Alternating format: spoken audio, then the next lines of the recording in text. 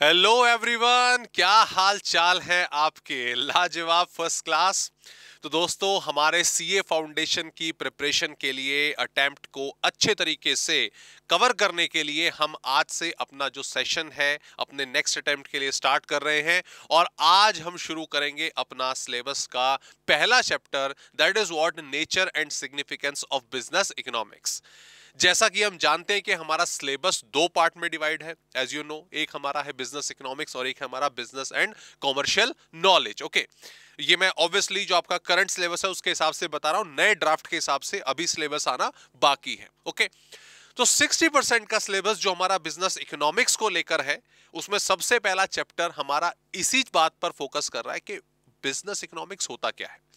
अगर मैं स्कूलिंग की बात करूँ तो वहाँ पर हमने माइक्रो इकोनॉमिक्स माइक्रो इकोनॉमिक्स अलग अलग ब्रांचेस इकोनॉमिक्स की जो है, उनको कवर किया था। लेकिन अब ये नया वर्ड बेसिकली बिज़नेस इकोनॉमिक्स का क्या है? इसका क्या कॉन्सेप्ट रहता है? और ये बाकी चीज़ों से किस तरीके से डिफरेंस एंड प्लस ऑब्वियसली इसके अंदर हम क्या क्या सिलेबस कवर करने वाले हैं। तो ये शुरुआत हमारी दोस्तों पहले चैप्टर से होगी। पहले हम समझेंगे कि बिज़नेस इकोनॉमिक्स हालाँकि वर्ड से हम अंदाज़ा लगा सकते हैं कि इस वर्ड का मतलब क्या है। बट यस ऑब्वियसली पहले पूरा डिटेल में जानेंगे कि इस वर्ड का क्या मीनिंग है और इसके अंदर क्या क्या स्कोप कवर होता है। तो चलिए शुरू करते हैं अपना टॉपिक बिज़नेस इकोनॉमिक्स तो दोस्तों, जब मैं फ़र्स्ट टॉपिक की बात करता हूँ बिज़नेस इकोनॉमिक्स की बात करता हूँ तो जो चैप्टर का नाम है, मेरे सीए फाउंडेशन के हिसाब से हम इसको देख रहे हैं। क्या है nature and significance of business economics इसका मतलब पहला चैप्टर हमारा पूरा का पूरा इन दो वर्ड्स पर या इस एक कंसेप्ट जो भी आप कहना चाहें, उस पर फोकस कर रहा है। ये क्या है? बिज़नेस इकोनॉमिक्स ओके सर, दो वर्ड आ गए यहाँ पे। एक बिज़नेस आ गया इकोनॉमिक्स आ गया। हमने स्कूलिंग में, अगर हम कॉमर्स की स्ट्रीम की तरफ़ से आए हैं तो दोनों वर्ड हमने अलग अलग सब्जेक्ट के रूप में पढ़े हैं। बिज़नेस स्टडीज़ पढ़ा है और एक आपका इकोनॉमिक्स माइक्रो और मैक्रो के पार्ट में पढ़ा है। ओके अगर आपने नहीं भी पढ़ा है, आप इलेवन ट्वेल्थ में आपके पास इकोनॉमिक्स नहीं थी, या आप दूसरी स्ट्रीम से तो भी कोई प्रॉब्लम वाली बात नहीं मैं ज़ीरो से स्टार्ट करूँगा। बट द थिंग इज़ कि यहाँ पर जो कंसेप्ट हमें समझाने की कोशिश करी जा रही है, जो कंसेप्ट हमें एक्सप्लेन किया जा रहा है, वो दो वर्ड से मिलकर बना है। तो ऑब्वियसली अगर हम इन दोनों वर्ड्स का मीनिंग प्रॉपरली समझ जाएँ कि बिज़नेस क्या है और इकोनॉमिक्स क्या है तो ऑब्वियसली हम ये समझ जाएँगे कि इन दो अलग अलग कॉन्सेप्ट्स को एक साथ इंटीग्रेट करा गया है, दोनों को एक साथ जोड़ा गया है और तब इकोनॉमिक्स को एक नया रूप दिया गया है। तो पहले हम समझेंगे इकोनॉमिक्स क्या है फिर हम समझ लेंगे बिज़नेस क्या है और उसके बाद इन दोनों वर्ड्स का क्या कंसेप्ट निकलकर आता है हमारे सिलेबस में या किसी स्पेसिफिक नेशन या बिज़नेस में, तब ये कॉन्सेप्ट हमें क्लियर होगा। अब आगे अगर दोस्तों हम देखें, मैं जैसे कि इलेवंथ क्लास में ट्वेल्थ क्लास में जिसमें भी आपने माइक्रो इकोनॉमिक्स पढ़ी, वहाँ पर इस एग्ज़ाम्पल का बखूबी इस्तेमाल करता हूँ। मैं वही एग्ज़ाम्पल लेके चलूँगा, ठीक है? बिल्कुल बेसिक सिंपल एग्ज़ाम्पल से हम समझेंगे इकोनॉमिक्स क्या है। दोस्तों जैसा कि आप यहाँ पे पिक्चर देख पा रहे हैं ये हमारे किसान भाई हैं। किसान भाई अपनी ट्रैक्टर तो नहीं है इनके पास अपने बैलों के साथ अपनी मशीनरी के साथ जो इनके पास है अपने खेत पे काम कर रहे हैं। ओके? सो so, अगर मैं एक फार्मर की बात करूँ तो फार्मर के पास जो ज़मीन है जो एग्रीकल्चर लैंड है और ऑब्वियसली उसके बाकी जो इक्विपमेंट्स हैं वो उसके रिसोर्स होते हैं। एक फार्मर का जो मेन रिसोर्स है वो क्या है? सर वो उसकी एग्रीकल्चर लैंड होती है। ओके? अब उस एग्रीकल्चर लैंड पर वो तरह तरह की अपनी जो क्रॉप्स है वेजिटेबल्स है, जो भी वो प्रोड्यूस करना चाहता है, वो कर सकता है। उसमें हम वीट का प्रोडक्शन राइस का प्रोडक्शन वेजिटेबल का पल्सेस का मेज का, ना जाने कितने तरह की क्रॉप्स जो है वो प्रोड्यूस कर सकते हैं। और वो अपनी रिक्वायरमेंट के हिसाब से उसको प्रोड्यूस करना चाहता है ओके तो इस एग्ज़ाम्पल के हिसाब से, इस कंसेप्ट के हिसाब से मेरे सामने दो चीज़ें निकल कर आई कि एक तो यहाँ पर हमारा जो फार्मर भाई है, उसके पास अवेलेबल है उसकी एक एग्रीकल्चर लैंड ओके और इस पर वो कई प्रकार की बहुत सारी क्रॉप्स जो है, उनको प्रोड्यूस कर सकता है। जैसे कि फॉर एग्ज़ाम्पल अगर मैं लूँ, जैसे राइस हो गया, या वीट हो गया, या शुगर कैन हो गया या फिर आप पल्सेस का एग्ज़ाम्पल ले सकते हैं, या फिर आप मेस का एग्ज़ाम्पल ले सकते हैं वेजिटेबल्स वगैरह, जितने बहुत सारी चीज़ें, उन सब का एग्ज़ाम्पल यहाँ पे लिया जा सकता है okay the thing is the thing is जो दोस्तों एग्रीकल्चर लैंड है, उसको हम एग्ज़ाम्पल एग्ज़ाम्पल कह रहा हूँ सॉरी उसको हम नाम देते हैं रिसोर्सेस का। उसे हम क्या नाम देंगे? रिसोर्सेस का। कि ये मेरे फार्मर भाई के रिसोर्सेज हैं जिससे वो प्रोडक्शन कर सकता है, अपनी रिक्वायरमेंट्स को पूरा कर सकता है। दूसरी तरफ़ जब मैं अगर देखूँ राइस है वीट है शुगर कैन है पल्सेस है मेज है, बहुत सारे एग्ज़ाम्पल हो गए। ये है इस फार्मर भाई की वॉन्ट्स क्या है? ये वॉन्ट्स है, जो वो प्रोड्यूस करना चाहता है। प्रोड्यूस कर रहा है, मैंने ये नहीं कहा प्रोड्यूस करना चाहता है ओके ये रिसोर्सेज हैं, ये उसका चाहना है। और दोस्तों, यहाँ पर एक स्ट्रेट फॉरवर्ड सिंपल सा एनालिसिस आप लोग खुद बिना बताए बड़ी आसानी से कर सकते हैं। क्या? कि सर, ये आपने रिसोर्सेज लिखे, ये इतनी सारी आपने वांट्स लिख दी तो ऑब्वियसली हमारे सामने ये वाली सिचुएशन है कि जो वांट्स हैं, वो रिसोर्सेज से बहुत ज़्यादा है। क्लियर भाई, मान लीजिए, ये मान लीजिए यहाँ पे ये दो हेक्टेयर का, ठीक है? ये दो हेक्टेयर का एग्रीकल्चर लैंड है इसके पास। ओके अब ये भाई, दो hectare is like something ten thousand square yard के आसपास आता है। ठीक है, वैसे तो बहुत बड़ी जगह हो जाती है बट एक फार्मर के नज़रिए से देखिए तो एक नॉर्मल एक नॉर्मल फ़ील्ड है। बहुत, ना बहुत ज़्यादा है, ना बहुत कम है ओके अब लेकिन आप इसने, आपने इसमें सर राइस भी लिख दिया वीट भी लिख दिया sugar cane pulses maize vegetable पता नहीं क्या क्या बोले जा रहे हो आप। अब इतनी सारी चीज़ें वो एक स्पेसिफिक एरिया में सबका सब कुछ प्रोड्यूस नहीं कर सकता। तो इसीलिए ये थ्योरी हमारे सामने आ गई। क्या? कि जो वांट्स हैं रिसोर्सेज से ज़्यादा होती हैं। हम ये भी कह सकते हैं कि जो रिसोर्सेज हैं, वो लिमिटेड होते हैं। वो क्या होते हैं? वो लिमिटेड होते हैं और जो वांट्स हैं, वो हमारी अनलिमिटेड होती हैं। हम फार्मर के साथ साथ अभी और बहुत सारे एग्जाम्पल्स इसमें सीखेंगे। ओके और बहुत सारे एग्जाम्पल्स मैं आपके लेके चलूँगा। नेशनल लेवल पर भी और एक स्मॉलर कंसेप्ट में भी। ठीक है? अभी फ़िलहाल इसको समझते हैं। सर, अब ये प्रॉब्लम यहाँ पर हो चुकी है। यहाँ पे कुछ दिक्कतें स्टार्ट हो चुकी हैं। वॉन्ट्स हमारी बहुत ज़्यादा हैं रिसोर्सेज हमारे कम हैं, सारी की सारी वॉन्ट्स सारी की सारी क्रॉप प्रोड्यूस नहीं हो सकती। सारी की सारी क्रॉप प्रोड्यूस नहीं हो सकती, क्योंकि जो ये सिचुएशन है, आपने जो लिखी, हमने जो समझी कि वॉन्ट्स हैं अनलिमिटेड रिसोर्सेज हैं लिमिटेड इसको हम स्केरसिटी कहते हैं। इसे हम क्या कहते हैं? स्केरसिटी कहते हैं। स्केरसिटी का हिंदी में मतलब है कमी, दुर्लभता। ठीक है? दुर्लभता, कमी स्केरसिटी किस चीज़ की? रिसोर्सेस की भाई। तुम्हारे वॉन्ट्स बहुत सारे थे। तुम्हारे इच्छाओं, तुम्हारी वॉन्ट्स का जो परिंदा है, वो आसमान पे आसमान छूता जा रहा है, ऊपर जा रहा है। लेकिन, अरे भाई, उन क्रॉप को प्रोड्यूस करने के लिए रिसोर्सेज आपके पास बहुत कम है। तो दैट सिचुएशन है स्केरसिटी अच्छा सर ओके रिसोर्सेज कम है।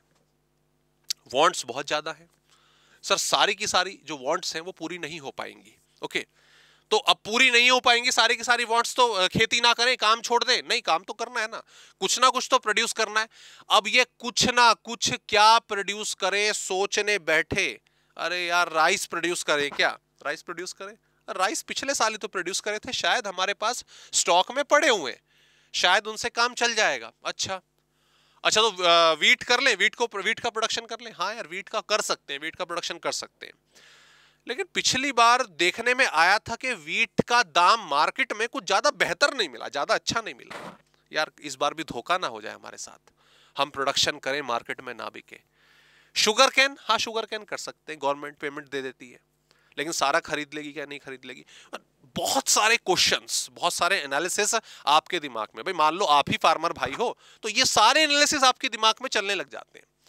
राइस पिछले साल किया था ओवर प्रोड्यूस्ड है। वीट का मार्केट में अच्छा दाम ना मिलने के चांसेस हैं।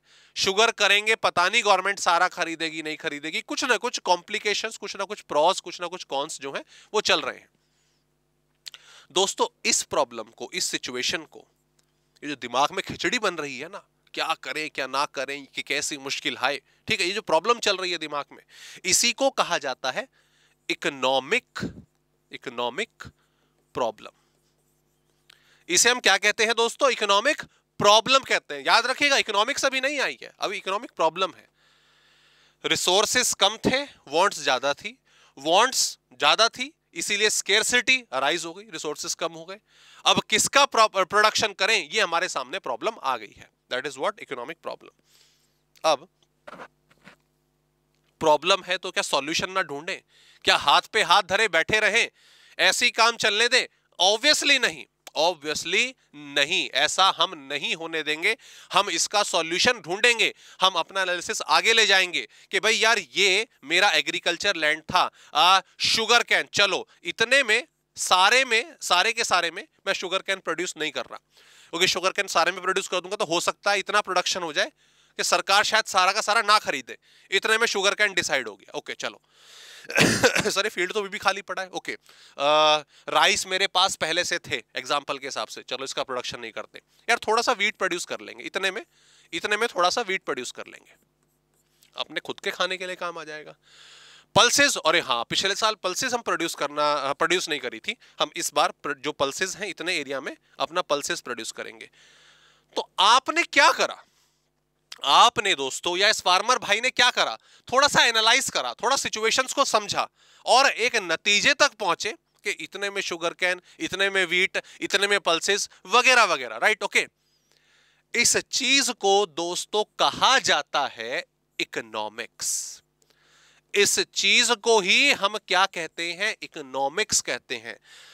जब भी हम हालातों को, जब भी हम सिचुएशन को, जब भी हम अवेलेबल रिसोर्सेज को प्रॉपरली एनालाइज करके, समझ के, दिमाग को सेंटर में रख के, ठंडा करके, नियंत्रण में रख के डिसीजंस लेते हैं पॉलिसीज़ बनाते हैं formulation of object formulation of strategies formulation of policies decide करते हैं, उस चीज़ को बोला जाता है इकोनॉमिक्स ये कोई नया शब्द नहीं है। आपने अगर इलेवन, ट्वेल्थ में इकोनॉमिक्स पढ़ी है, पढ़ने से पहले ही आप इकोनॉमिक्स करते आए हो बचपन से। From the very first day of your studies आप इकोनॉमिक्स करते आए हो। क्लियर कैसे सर? इकोनॉमिक्स कैसे करते हैं? अरे, जब एग्ज़ाम आते हैं, और मान लीजिए हमारी तैयारी हंड्रेड परसेंट नहीं है, क्या हम अपना टाइम डिवाइड नहीं करते थे? कि यार, जिस सब्जेक्ट में मैं कमज़ोर हूँ, उसको ज़्यादा टाइम देना है। या इस सब्जेक्ट में मुझे ज़्यादा स्कोर करना है तो उसमें एक घंटा, दो घंटा में डेली ज़्यादा दूँगा। करते थे कि नहीं करते थे? डेफिनेटली करते थे। यही तो इकोनॉमिक्स होती है। हैं? यही तो इकोनॉमिक्स होती है। घर से पॉकेट मनी मिलता है। तो पॉकेट मनी मिला, वो रिसोर्स है। आपको जो पॉकेट मनी मिला या पेरेंट्स से पैसे मिले, वो रिसोर्स है। उस रिसोर्स का आप कैसे इस्तेमाल करते हो? सोच समझ के, अरे, ये मैं इतने की अपना कुछ ट्रीट का मतलब दोस्तों को दूँगा या खुद कुछ खाऊँगा मार्केट जाके। इतने का मैं कुछ अपने लिए ड्रेस खरीदूँगा, इतने के लिए मैं अपनी कुछ बुक्स खरीदूँगा। बुक बुक्स पता नहीं खरीदी नहीं खरीदी, ठीक है? बुक्स खरीदूँगा, या इतना पैसा मैं सेव कर लूँ, करते हो ना? दैट इज़ इकोनॉमिक्स वो इकोनॉमिक्स है। क्यों आपको मालूम है कि जो रिसोर्स आपके सामने है, जो रिसोर्स आपके सामने अवेलेबल है, वो कम है। वो आपकी सारी रिक्वायरमेंट को पूरा नहीं कर पाएगा। एग्ज़ाम के लिए कितना भी टाइम मिले, वो हमेशा कम ही रहता है। आखिरी में आके एंड में आके कुछ ना कुछ प्रॉब्लम्स हो ही जाती है यार, ये सब्जेक्ट रह गया या इसकी रिवीजन नहीं हुई या टेस्ट पेपर मैंने नहीं करे। लेकिन आप फिर भी उसको बेस्ट पॉसिबल वे में प्लान करते हो। दैट इज़ वॉट इकोनॉमिक्स वही चीज़ यहाँ पर इस किसान भाई ने करी। और वो हर कोई कैसे ना कैसे, किसी ना किसी तरीके से अपनी लाइफ में ज़रूर करता है। तो ये सिंपल सा मीनिंग होता है इकोनॉमिक्स का। डेफिनेशन अभी प्रॉपरली समझेंगे। But what is economics resources को रिसोर्सिस को मोस्ट एफिशिएंट वे में यूज़ करना। I repeat most efficient way में यूज़ करना। अपनी मैक्सिमम वॉन्ट्स को आप नोट भी नोट डाउन भी कर सकते हैं। रिसोर्सेज को मोस्ट एफिशिएंट वे में यूज़ करना। अपने मैक्सिमम वॉन्ट्स को सेटिस्फाई करने के लिए that is economics that is economics दोस्तों, आगे बढ़ते आगे बढ़ते ये सिंपल सा चार्ट हमारे सामने आ गया। व्हाट इज़ इकोनॉमिक्स ये हमने पढ़ा। Wants are greater than resources sir wants जो है रिसोर्सेज से ज़्यादा है। इस सिचुएशन को कॉल्ड इस सिचुएशन को हमने क्या? कॉल्ड बोल दिया। स्केरसिटी कहते हैं ओके इसके अलावा यहाँ पर स्केरसिटी की वजह से जन्म हुआ लीड्स टू इकोनॉमिक प्रॉब्लम क्या प्रोड्यूस करे, क्या ना करे हैरे तौबा समस्या। लेकिन समस्या है तो उसका समाधान भी होगा, प्रॉब्लम है तो उसका सॉल्यूशन भी होगा। इकोनॉमिक प्रॉब्लम को सॉल्व करती है कौन? इकोनॉमिक्स। इकोनॉमिक प्रॉब्लम को सॉल्व करती है कौन? Economics. So economics is concern with the study of how effectively how effectively an individual या सोसाइटी अब इंडिविजुअल बोला तो माइक्रो इकोनॉमिक्स सोसाइटी बोला तो नेशन मैक्रो इकोनॉमिक्स दोनों पर लागू होगा। Use limited resources resources limited थे ना to satisfy infinite wants maximum wants जितनी हम सेटिस्फाई कर सके, जो अनलिमिटेड है, सारी तो नहीं होंगी बट जितनी हो सकती है। गॉट द पॉइंट ये सिंपल सा पॉइंट हमारे सामने निकल कर आया। हाँ दोस्तों, एक चीज़ और है, यहाँ पे एनालिसिस के लिए हम समझ सकते हैं। सर आपने जो बोला, आपने बोला कि सर जो हमारे रिसोर्सेज हैं, वो लिमिटेड है लिमिटेड आर है। ठीक है? और जो हमारे रिसोर्सेज माफ़ कीजिएगा, जो वॉन्ट्स हैं, वो अनलिमिटेड है। है ना? और अनलिमिटेड वॉन्ट सारी पूरी नहीं हो सकती। हम ये प्रोसेस चलाते हैं इकोनॉमिक्स करते हैं और मैक्सिमम वॉन्ट्स को सेटिस्फाई करने की कोशिश करते हैं। ठीक है? बिल्कुल सही है। सर, एक क्वेश्चन है। एक क्वेश्चन हमारे मन में। ठीक है? क्वेश्चन क्या है कि, सर, अगर रिसोर्सेज अगर रिसोर्सेज अनलिमिटेड हो जाए तो? अगर रिसोर्सेज अनलिमिटेड हो जाए तो? तो क्या आपकी वांट्स सारी की सारी सेटिस्फाई हो जाएँगी? ये क्वेश्चन अक्सर आता है। तो देखो देखो, ये जो सिचुएशन हमें ये बहुत ही ज़्यादा हाइपोथेटिकल है कि रिसोर्सेज का अनलिमिटेड हो जाना, ये तो पॉसिबल नहीं है। पॉसिबल नहीं लेकिन अगर फिर भी मैं आपकी इस बात को यस बोल दूँ कि चलो रिसोर्सेज आपके अनलिमिटेड हो जाएँ, तब भी दोस्तों स्केरसिटी रहेगी। क्योंकि वांट्स भी उसके हिसाब से और ज़्यादा बढ़ने लग जाएँगी। अगर ऐसा हो कि रिसोर्सेज अगर अनलिमिटेड हो जाएँ और स्केरसिटी अराइज ना हो तो दोस्तों जो बहुत रिच क्लास है, जो मिलियनर्स हैं बिलियनर्स हैं, उनकी तो कोई वॉन्ट ही नहीं रहेगी। लेकिन फिर भी अगर हम देखें, आज भी आज भी उनकी कुछ ना कुछ वॉन्ट रहती है। भाई, देखो, एक पर्सन बहुत गरीब आदमी, वो पैदल ऑफ़िस जाता है। उसकी पहली वॉन्ट क्या होगी कि, चल यार साइकिल तो हो अपने पास।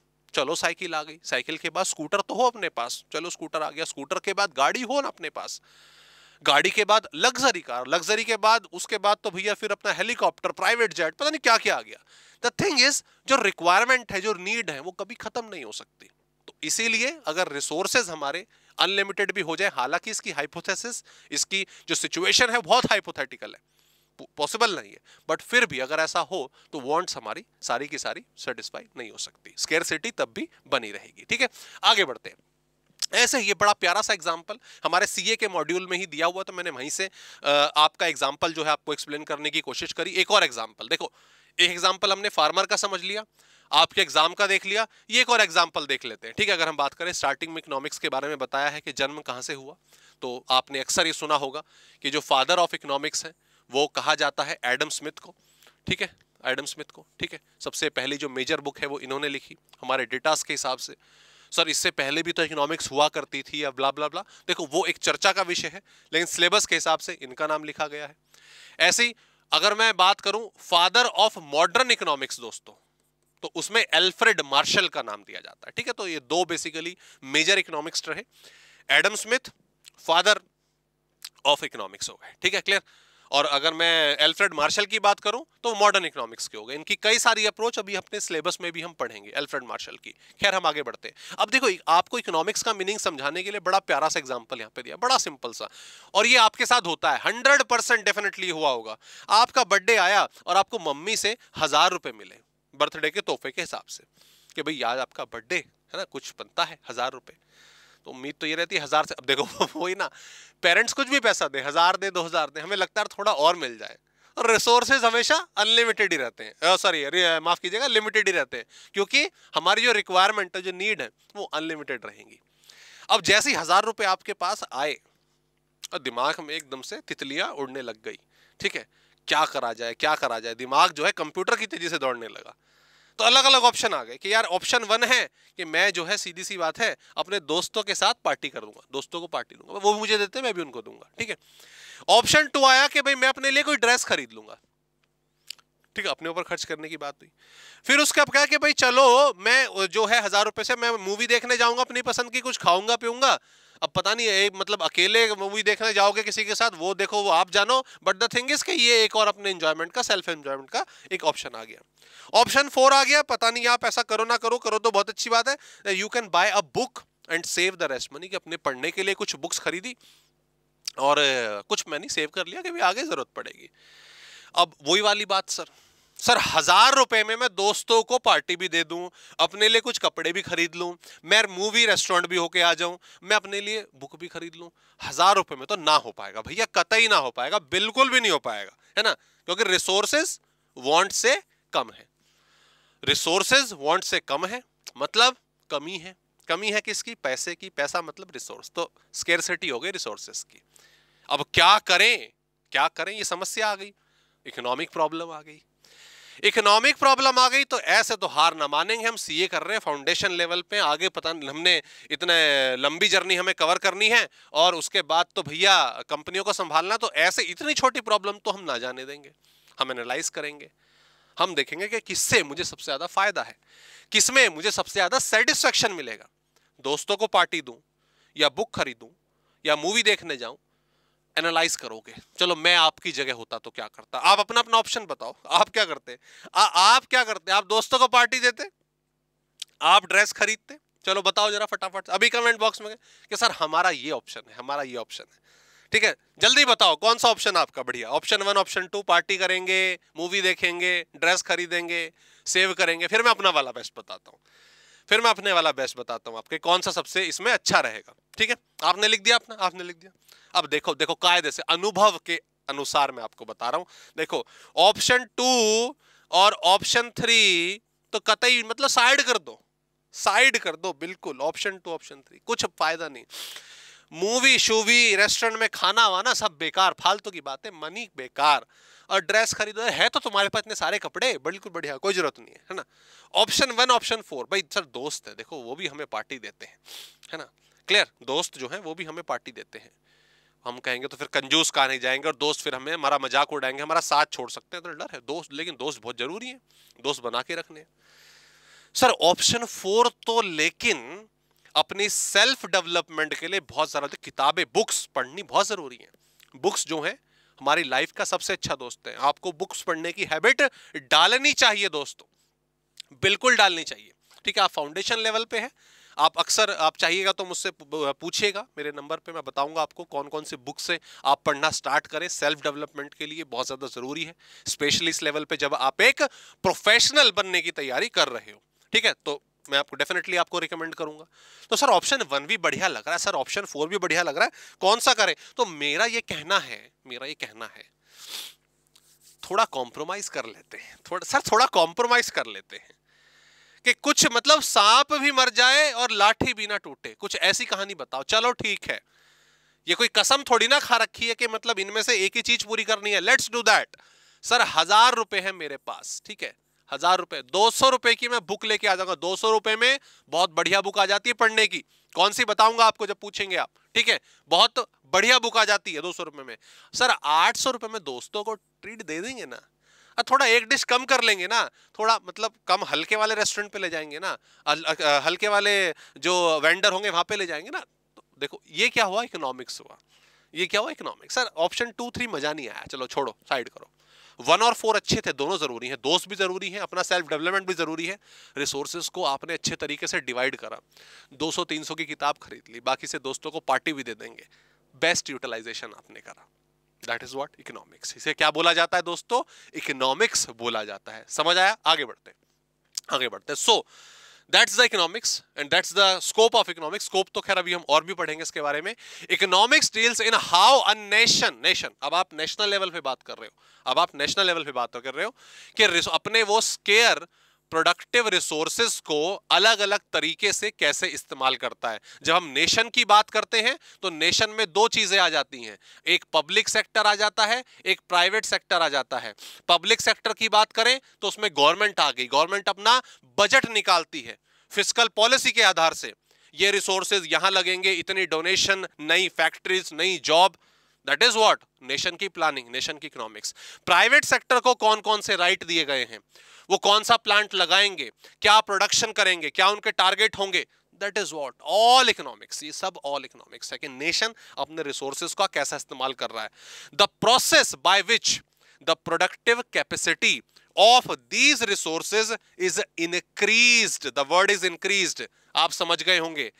It is deal with this thing is dealing with technology it is deals with technology आप अपने काम करने की टेक्निक को कैसे एनहेंस करते हैं? अरे, अपनी बात करो यार। छोड़ो। आप अपनी बात करो। आप छोड़ो, ये सब बहुत बड़ा। ये वाला पॉइंट क्या आप अपनी लाइफ में नहीं लगाते सेकंड वाला? प्रोसेस ऑफ़ प्रोडक्टिव सर, हमारा हमारा तो कोई बिज़नेस नहीं है। हम, हमारी प्रोडक्टिव कैपेसिटी कैसी? अरे भाई, तुम पढ़ रहे हो। तुम पढ़ रहे हो, तुम्हारी प्रोडक्टिव कैपेसिटी तुम्हारे नंबर से तुम कितना स्कोर कर रहे हो? हाँ सर, बात तो सही है। हमारा देखा जाए, हमारी कंपनी इस टाइम पढ़ने की हमें पढ़ना है। हमारा ये मेजर टारगेट है। पहले अटेम्प्ट में फाउंडेशन निकालना है इंटर पे तैयारी रैंक और फाइनल तो पूछो मत, ऐसे निकालेंगे। ये कॉन्फिडेंस ये हमारा होना चाहिए। इसके लिए अब क्या प्रोसेस अपना रहे हो? इसके लिए आप क्या प्रोसेस अपना रहे हो? अपनाते हैं सर, हम अपनाते हैं। क्या अपनाते हो? अभी फाउंडेशन कर रहे हैं ना? हाँ जी सर। सर टाइम डिवाइड कर लिया हमने। हमने टाइम डिवाइड कर लिया है। हम खाली ये नहीं कि हमने किताब पढ़ ली, कोई भी। नहीं, कि खाली मॉड्यूल पढ़ लिया, नहीं। हम अपने ऑथर की किताब भी पढ़ रहे हैं। हम उसको एनहेंस करने के लिए मॉड्यूल की सहायता भी लेंगे। हम एक महीना पहले सिलेबस को खत्म कर लेंगे एम करेंगे, हम रिवीजन प्रैक्टिस सीरीज़ करेंगे। ये सब क्या है? ये सब आपका दोस्तों प्रोडक्टिव कैपेसिटी बढ़ाने का प्रोसेस है।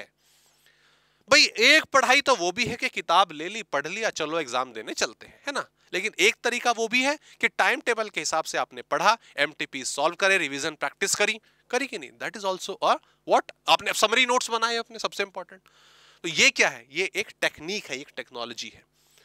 तो रिसोर्सेज कम है, हम जानते हैं, लेकिन उसका अच्छे तरीके से इस्तेमाल करना, ताकि ज़्यादा से ज़्यादा वॉन्ट्स मैंने बोला था ना एफिशिएंट वर्ड वो यही है कि सबसे अच्छे तरीके से इस्तेमाल करना okay now the factors which have led to sharp fluctuation in the rate of utilisation of resources मतलब शार्प फ्लक्चुएशन सर इसका क्या मतलब हो सकता है? शार्प फ्लक्चुएशन देखो, ये चीज़ें आप धीरे धीरे समझोगे। अभी हम बहुत सारे एग्जांपल है बिज़नेस एनवायरमेंट करके एक चैप्टर पढ़ेंगे हम। हम एक चैप्टर पढ़ेंगे अपने सिलेबस में बिज़नेस साइकिल ठीक है? तो इकोनॉमिक डिसीज़न बिज़नेस के डिसीज़न ऐसे ही नहीं लिए जाते। इसमें बहुत सारी चीज़ें समझनी पड़ती हैं।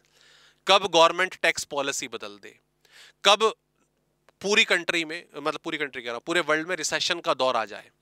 ठीक है कब पेट्रोल की सप्लाई क्रूड ऑयल की सप्लाई कम हो जाए बढ़ जाए? वॉर जैसे यूक्रेन रशिया वॉर हम देख रहे हैं है ना? तो थिंग इस बहुत सारे नाजुक मोड़ होते हैं। आ, आपने मैं तो अगर नहीं पढ़ा मैं तो अगर कोई बात नहीं आगे भी उसको हम डिस्कशन करेंगे। जब हम दोस्तों बिज़नेस स्टडीज़ में ट्वेल्थ क्लास की बात कर रहा हूँ, ठीक है? आप कंट्रोलिंग चैप्टर पढ़ते हैं तो कंट्रोलिंग चैप्टर में सीपीएम टेक्निक के तहत हमने एक वर्ड पढ़ा था की फैक्टर पढ़ा था कि नहीं पढ़ा था? ठीक है, पढ़ा था कि नहीं? की फैक्टर की फैक्टर होता क्या? मैं बता देता हूँ। बिज़नेस का एक ऐसा नाजुक पॉइंट जिसका हमें बहुत ध्यान रखना पड़ता है, जिसपे कॉम्प्रोमाइज नहीं बनता किसी भी तरीके का, वो की फैक्टर होता है। जैसे मान लीजिए आपकी एक बेकरी की दुकान है तो आपका की फैक्टर होगा कि आपके पास आटे या मैदा, जिससे भी केक वगैरह बिस्किट वगैरह बनते हैं, उसकी सप्लाई बंद ना हो। दैट इज़ की फैक्टर एक पेट्रोलियम कंपनी के लिए क्रूड ऑयल की supply is the key factor है ना? ऐसे ही वहाँ पर मशीन्स जो ज़्यादा, सबसे ज़्यादा इन्वॉल्व होती हैं दैट इज़ की फैक्टर उन पर अपनी नज़र बनाए रखना भी इकोनॉमिक्स का पार्ट होता है भाई। क्योंकि अगर की फैक्टर के साथ छेड़खानी हो गई तो गड़बड़ हो जाएगी। आपके सिलेबस में चार सब्जेक्ट ठीक है? इकोनॉमिक्स हम पढ़ रहे हैं। इकोनॉमिक्स के सिलेबस के हिसाब से मैं आपको बताता हूँ। अरे यार प्रोडक्शन चैप्टर और मार्केट चैप्टर कॉम्प्रोमाइज नहीं हो सकते। कॉम्प्रोमाइज नहीं हो सकते। पूरा सिलेबस इंपॉर्टेंट है। बट ये दोनों कॉम्प्रोमाइज नहीं हो सकते। वो chapters are key factor clear law पढ़ रहे हैं आप, लॉ पढ़ रहे हैं। पहला चैप्टर कंसिडरेशन क्वासी कॉन्ट्रैक्ट अरे, ये तो बहुत इंपॉर्टेंट है।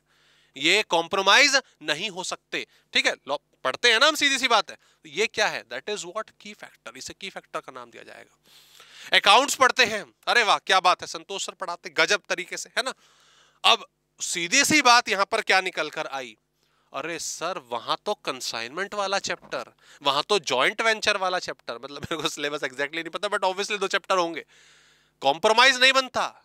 की फैक्टर तो इकोनॉमिक्स इन चीज़ों के साथ भी डील करती है तो बहुत बड़ा पॉइंट है, बहुत बड़ा फैक्टर है, जो बेसिकली डील करा जाता है। ओके नाउ आइए उस शब्द पर चलें, जो हमें कहता है, जो हमें बताता है। क्या क्या क्या?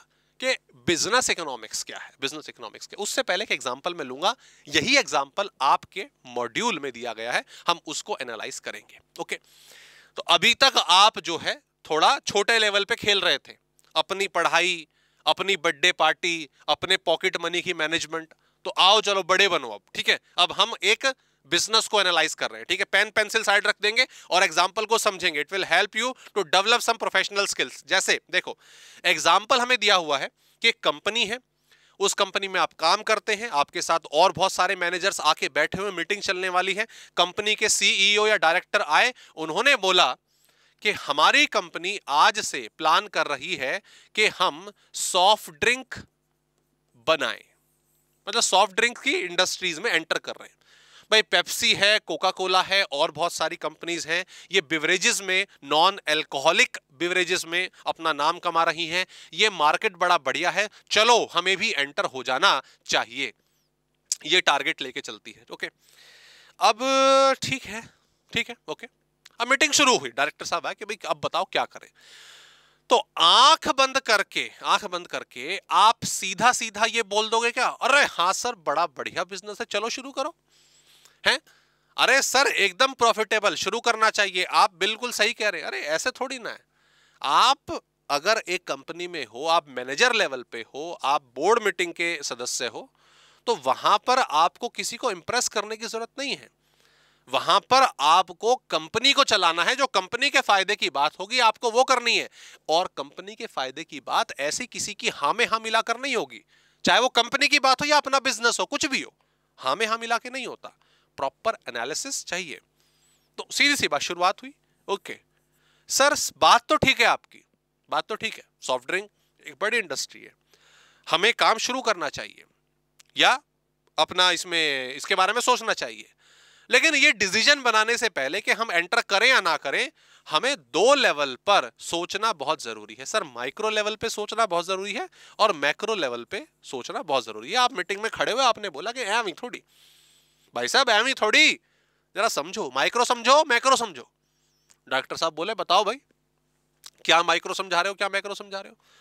तो सर, पहली बात पहली बात, पहले माइक्रो, अपने अपने अंदर देखो, अपने इंडस्ट्री के अंदर देखो। अब माफ़ कीजिएगा, अपने फर्म के अंदर देखो, अपनी कंपनी के अंदर देखो। अच्छा क्या देखो, बताओ तो सही। सर, एक बार तो पहले तो मशीनरी की बात करो, कि मशीनरी कहाँ से आएगी? मशीनरी हम कहाँ से लेकर आने वाले हैं? ओके अच्छा ये एनालिसिस हमारे पास पैसे हैं इतने? हमारे पास फंड अवेलेबल है इतना। अच्छा ठीक है। सर इंप्लॉइज या लेबर जो हमारे करंट एम्प्लॉयज़ है, जो हमारे करंट लेबर हैं, वो इसमें एंगेज नहीं है, वो इसका काम करना नहीं जानते, है ना? वो इसमें इन्वॉल्व नहीं है। नया लेबर फोर्स हमें चाहिए होगा। नए एम्प्लॉयज़ हमें चाहिए होंगे। अच्छा अरे, ये तो थोड़ा खर्चे वाली बात हो रही है। तो खर्चा सॉफ्ट ड्रिंक में जा रहे खर्चा नहीं होगा। अच्छा। सर, माल कहाँ से खरीदोगे? सप्लायर कौन होंगे? रॉ मटेरियल भाई कोल्ड ड्रिंक बनेगी तो कांच की बॉटल्स भी आएँगी प्लास्टिक बॉटल्स भी आएँगी। वो आपका जो कार्बोनेटेड आपका सब्सटेंस होता है, वो भी आपको उसका फॉर्मूला बनाना होगा डिफरेंट एक केमिकल सप्लायर पकड़ना होगा। साथ ही, अरे, आपके जो कंपिटिटर्स हैं बायर्स तो अभी आएँगे बायर्स का मूड तो पता चलेगा बाद में। मेन दो तो ये खिलाड़ी हैं। कंपटीटर क्या बेच रहे हैं? कैसे बना रहे हैं? सामान कहाँ से खरीद रहे हैं? सप्लायर आप सामान कहाँ से खरीदोगे? अरे, हम भी खरीद लेंगे उनसे। अरे, ऐसे कैसे खरीद लोगे? हैं? जहाँ से आपका कंपटीटर सामान खरीद रहा है, वहीं से आप खरीदोगे। तो आपके प्रोडक्ट में क्या डिफरेंस हुआ? अगर आप सेम फॉर्मूला बना के बेच रहे हो तो तो कंज्यूमर तो वहीं जाएगा, पुराने वाले पे जाएगा। अरे, कुछ डिफरेंट अपने सॉफ्ट ड्रिंक में निकालो ना। हेल्थ के मामले में एनर्जी के मामले में, नींद के मामले में, कुछ भी जो भी होता हो। क्लियर कुछ तो नया निकालो, कुछ तो नई चीज़ लेकर आओ सप्लायर ये तमाम factor that these are the micro economics these are micro economics okay अच्छा। मैक्रो लेवल पे? सर मैक्रो लेवल पे क्या करें? अरे, सबसे पहले तो देखो टैक्स पॉलिसीज़ क्या है? टैक्स पॉलिसीज़ क्या है? सर टैक्स पॉलिसी का इससे क्या लेना देना? इंटर में मिलिएगा, बताऊँगा एक्सप्लेन करूँगा वहाँ पे। वहाँ पे टैक्स सब्जेक्ट जो है, बड़ा मज़ा आता है पढ़ाने में। आज के टाइम पर मैं आपको बता रहा हूँ दोस्तों अगर आप अपनी कोई नई मैन्युफैक्चरिंग यूनिट स्टार्ट करते हो मैन्युफैक्चरिंग यूनिट है, शुरू करते हो गवर्नमेंट टैक्स के मामले में कई तरह की सब्सिडीज कई तरह की कंसेशंस देती है प्रमोट करने के लिए। तो भैया, उस पॉलिसीज़ के तहत आप अपना काम शुरू करना। ये प्लानिंग करनी पड़ती है। ऐसे ही नहीं कि घर के पीछे खाली पड़ा था प्लॉट चलो, काम शुरू कर दो, कर सकते हो। लेकिन उसमें पैसा आप बहुत बचा सकते थे अगर टैक्स पॉलिसीज़ के हिसाब से काम शुरू करते। तो ये मालूम होना चाहिए। अच्छा अरे जो ग्लोबलाइजेशन की पॉलिसीज़ है, वो क्या कह रही है? हमारी कंट्री का जीडीपी क्या कह रहा है? हमारी कंट्री की पॉपुलेशन डेमोग्राफिक प्रोफ़ाइल क्या सॉफ्ट ड्रिंक को पसंद कर रही है, नहीं कर रही है? तो ये तमाम एनालिसिस ऐसे ही आँख बंद करके डिसीज़न नहीं लेना है। माइक्रो मैक्रो दोनों तसल्ली से समझना है। कंपटीटर की पढ़ाई करनी है, बायर की पढ़ाई करनी है, गवर्नमेंट की टैक्स पॉलिसीज़ की पढ़ाई करनी है, बहुत कुछ समझना है, तब जाके एक प्रोडक्ट का फाइनल डिसीज़न हो पाता है दोस्तों। आज के टाइम पे जो बड़ी बड़ी कंपनीज़ है ना 200 200 3 300 5 500 हज़ार हज़ार करोड़ रुपए खर्च करती है सिर्फ़ आर एंड डी पर, रिसर्च एंड डेवलपमेंट पर। कि हमें प्रोडक्ट को स्टार्ट करना चाहिए, नहीं चाहिए। हज़ार हज़ार करोड़ रुपए करने के बाद भी प्रोडक्ट कैंसिल हो जाता है कि नहीं, ये प्रॉफिटेबल नहीं है। तो आप समझ सकते हो कि एक नई चीज़ को स्टार्ट करना इतना आसान नहीं होता। कंपनी को बहुत बड़े लेवल पे, अच्छे लेवल पे प्लानिंग करनी पड़ती है। हम इस सीए फाउंडेशन मतलब सीए वाले कोर्स में आए हैं फाउंडेशन लेवल पे आगे जाएँगे। तो क्या आँख बंद करके हम सीए फाउंडेशन में आ गए? मतलब सीए कोर्स को ज्वाइन कर लिया। अरे मेरा दोस्त कर रहा था तो चल, मैं भी भेड़ चाल। नहीं। ऐसा करा क्या? गलत बात। हम प्रॉपर एनालिसिस करके इनकी वैल्यू क्या है मार्केट में? क्या जॉब की अपॉर्चुनिटीज़ है? किस तरह से हम एक कंपनी को डोमिनेट कर सकते हैं? किस तरह से हम उनकी पॉलिसी स्ट्रेटजी मेकिंग में, उसको बड़ा बनाने में अपना रोल प्ले कर सकते हैं? ये एनालिसिस करोगे, तभी आप अपने आप को आगे ले पाओ, ले जा पाओगे। राइट है ना? ये एनालिसिस होना बहुत ज़रूरी है। आपकी लाइफ में भी, अपने जीवन में भी और ऑब्वियसली एक प्रोडक्ट एक कंपनी के बारे में भी। गॉट द पॉइंट चलो, आगे बढ़ते हैं। तो that's the meaning of business economics not a new thing sir simple अब समझ आ गया। सिंपल समझ आ गया। इकोनॉमिक्स को अपने बिज़नेस में डाल दो। Right that is business economics economics में आपने समझ लिया ना कि हम स्ट्रेटजी मेकिंग देखते हैं, हम बिज़नेस पॉलिसीज़ हम पॉलिसीज़ बनाते हैं, अपने रिसोर्सेज को अच्छे तरीके से इस्तेमाल करने की बात करते हैं, वही बिज़नेस में ले आओ। बिज़नेस के भी तो रिसोर्सेज है ना, बिज़नेस के अपने रिसोर्सेज है ना। उनकी कैपिटल है मशीनरी है लेबर है इक्विपमेंट्स है। उनका बेस्ट इस्तेमाल करना है, यही बिज़नेस इकोनॉमिक्स है। So business economics is the use of economic analysis and the formulation of business policies to make key, keyword आ गया, है ना? To make key business decision involving, उसके बाद पढ़ना जरा best use of an organisation scarce resources कुछ नया आया? आपने पहली स्लाइड में जो पढ़ा था कि सर रिसोर्सेस का सही तरीके से इस्तेमाल करना है, बिल्कुल वही डेफिनेशन है। बस यहाँ पर बिज़नेस की इन्वॉल्वमेंट बढ़ गई है बिज़नेस की पॉलिसीज़ की बात बढ़ गई है बिज़नेस के रिसोर्सेज की बात बन गई है। इसे ही बिज़नेस इकोनॉमिक्स दोस्तों कहा जाता है, सबसे सिंपल मीनिंग इसे अप्लाइड इकोनॉमिक्स भी कहते हैं, इसे मैनेजेरियल इकोनॉमिक्स भी कहते हैं, इसे इंटीग्रेटेड इकोनॉमिक्स भी कहते हैं। अप्लाइड इकोनॉमिक्स इसको इसलिए बोला जाता है कि आप अपने उन थ्योरीज को डिमांड सप्लाई बिज़नेस सप्लायर आपके कंपटीटर इन सब की जो थ्योरी आप पढ़ते हो, उसे आप बिज़नेस में अप्लाई करते हो। That is applied economics managerial economics इसलिए बोला जाता है ये काम बेसिकली नॉन प्रोफेशनल या नॉन स्किल्ड लोगों का नहीं होता। बिज़नेस की पॉलिसी बनानी है यार। बिज़नेस के डिसीजंस को हमें क्लासिफाई करना है स्ट्रेटजीज बनानी है। ये हर किसी के बस का बात नहीं कि कोई भी बना लेगा। कौन? मैनेजर से टॉप लेवल के जो लोग होते हैं मैनेजमेंट में, वो इसको करते हैं, इसीलिए इसको मैनेजरियल इकोनॉमिक्स बोला जाता है। And next is what integrated economics integrated का मतलब होता है जब आप अलग अलग फ़ील्ड को एक साथ कनेक्ट करके, एक सीए क्या है? एक सीए क्या है? एक सीए है इंटीग्रेटेड पर्सनैलिटी जब हम सीए बन जाएँगे we have knowledge of what sir taxation की नॉलेज होगी, हमें फाइनेंस की नॉलेज होगी, हमें ऑडिट आपका आने वाले समय में एक सब्जेक्ट जुड़ेगा, उसकी नॉलेज होगी, हमें एक फाइनेंशियल लेवल की रिपोर्टिंग या अच्छे लेवल की अकाउंटेंसी की नॉलेज होगी। तो ये क्या है? इंटीग्रेटेड पर्सनैलिटी इंटीग्रेटेड स्किल ठीक उसी तरीके से मैं, हम इकोनॉमिक्स पढ़ तो रहे हैं, लेकिन एक बिज़नेस के डिसीज़न मेकिंग में, हमें स्टैट्स की, हमें अकाउंटेंसी की हमें आपके अलग अलग ह्यूमन साइकोलॉजी की, इन सब की भी स्टडी करनी पड़ती है।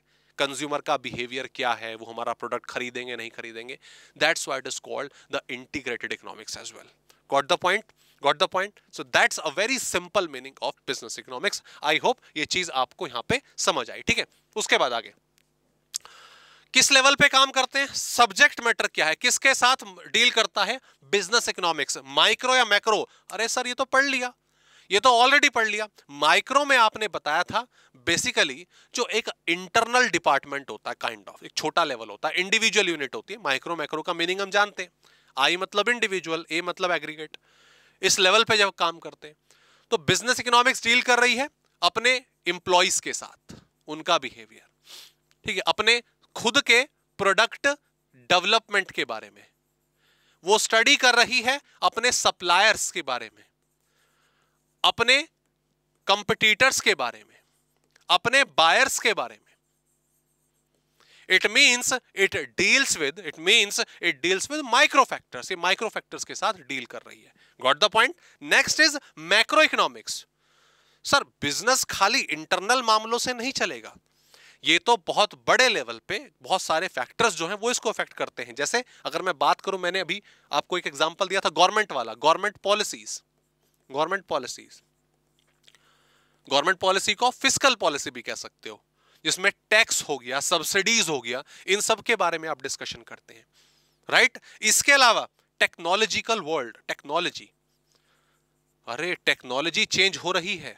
आपको भी चेंज होना होगा, बहुत ज़रूरी है। अगर समय के रहते हमने अपनी टेक्नोलॉजी को दोस्तों अपग्रेड नहीं करा तो ऑब्वियसली हम बिज़नेस में पीछे रह जाते हैं। एग्ज़ाम्पल अगर आप देखें ना सर दो, दोस्तों तो यू आर लाइक आपकी एज इस वक्त क्या होगी अगर मैं बात करूँ? तो आप मेरा मानना यह है कि मोस्टली आप सन 2000 के बाद के जो हैं बॉर्न है और आपने जो होश संभाला है जमाने को लेकर वो लगभग 2010 के बाद संभाला होगा।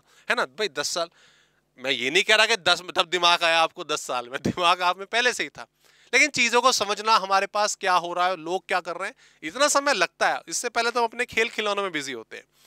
तो सबसे इंपॉर्टेंट चीज़ जो है, हमारी लाइफ में जो बहुत ज़्यादा इन्फ्लुएंस करती है, वो है मोबाइल है ना? इसका बड़ा, इसको लेकर डिस्कस करेंगे आगे चल के ये बड़ा समस्या वाली चीज़ है ज़िंदगी में।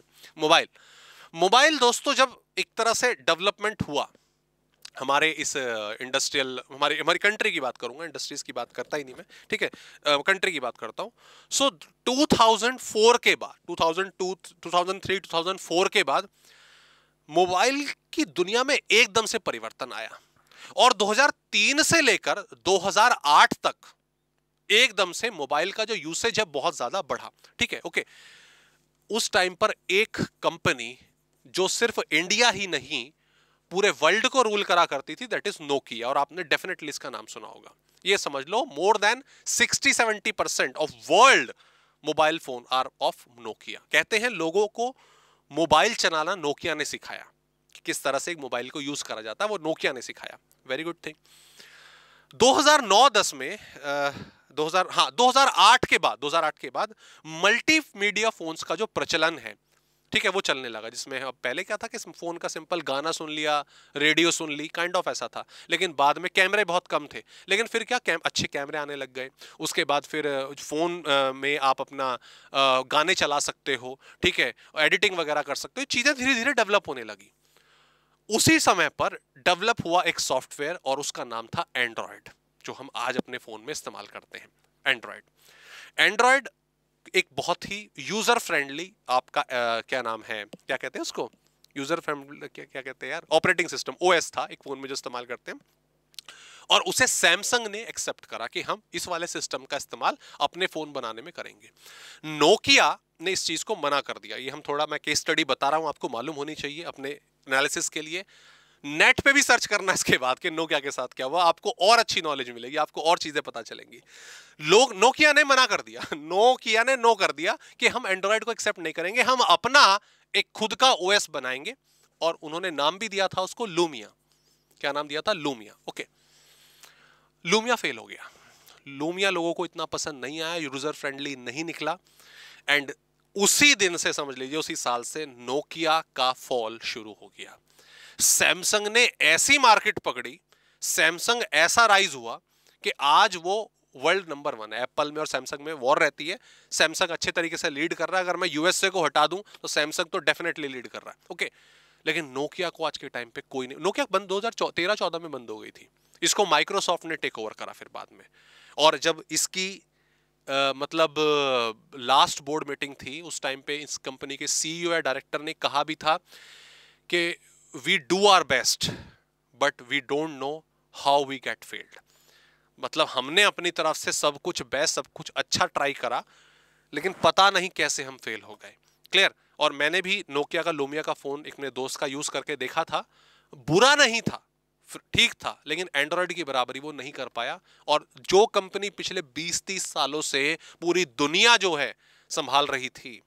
वो सिर्फ़ तीन चार साल के स्पेन में गड़बड़ हो गई, बाहर चली गई। तो इसीलिए इसीलिए टेक्नोलॉजी इम्प्रोवाइजेशन बहुत ज़रूरी है। इम्प्रोवाइजेशन बहुत ज़रूरी है अपने बिज़नेस में, अपने काम में, अपने स्किल में। आज भी बोलते हैं ना, आप आप कल को सीए बन जाओगे। आप कल को सीए बन जाओगे।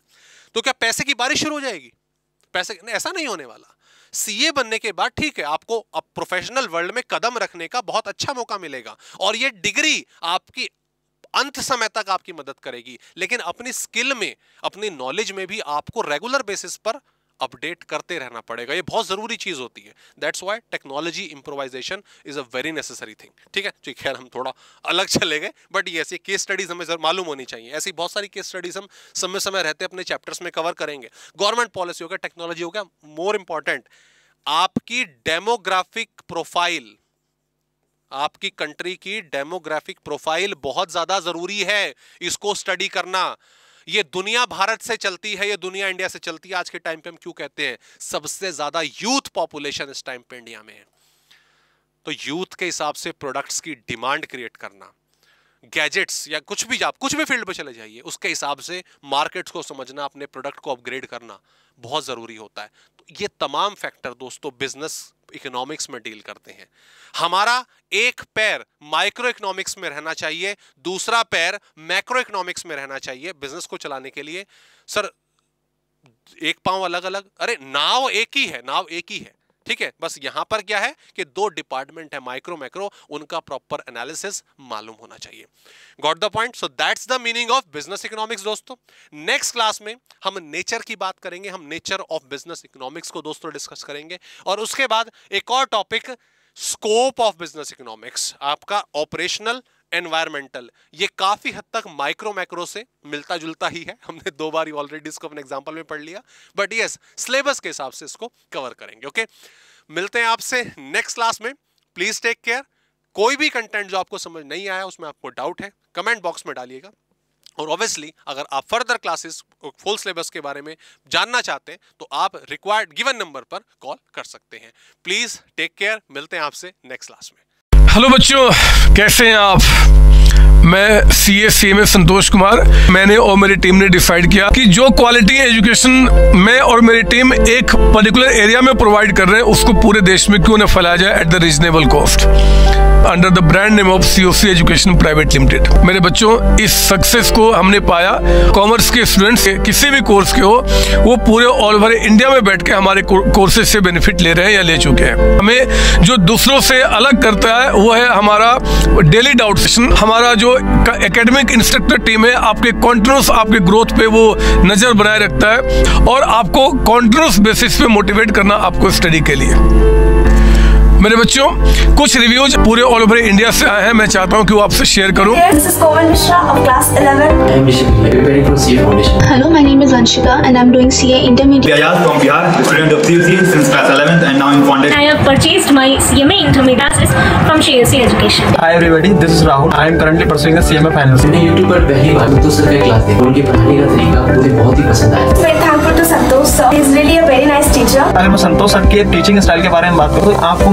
महसूस ही नहीं होगा कि आप वीडियो क्लासेस में बैठे आप लाइव क्लासेस में बैठे। Santosh sir has cleared all my doubts and he gives a very तगड़ा answer to my complaint thanks to COC my concepts are pretty clear my doubts get clear right away and I am even able to score a good marks इसलिए मैं संतोष sir का दिल से thank you so much कहना चाहता हूँ। आप भी हमारे साथ ज्वाइन करें और सक्सेस के पाथ पे आप भी हमारे साथ अपने सपनों को पूरा करें। थैंक यू थैंक यू बच्चों।